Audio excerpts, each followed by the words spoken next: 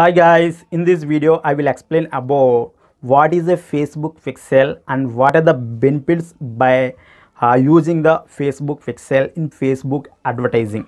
Guys, Facebook pixel is a one piece of JavaScript code which is provided by Facebook ads and we have to install this Facebook pixel which is JavaScript code on our website so which have to uh, insert in every page of the website. So the best part to install the facebook pixel is by install it in the, the header. If you include the uh, this facebook pixel that is a javascript code in the header part. So in that case the facebook pixel code the javascript code will be installed on every page of the your website. So once the code is installed on your website. Whenever users visit your website the facebook pixel will capture those users. And we can retarget those users using the facebook ads.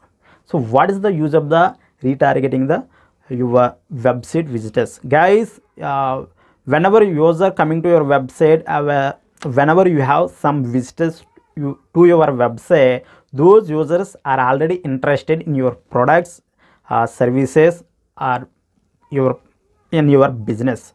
So it is very better to uh, target those users. It is very better to target uh, your website visitors than the random users. So why? Because the website visitors already have the interest in your business. So this particular facebook pixel will help in the retargeting the your website visitors.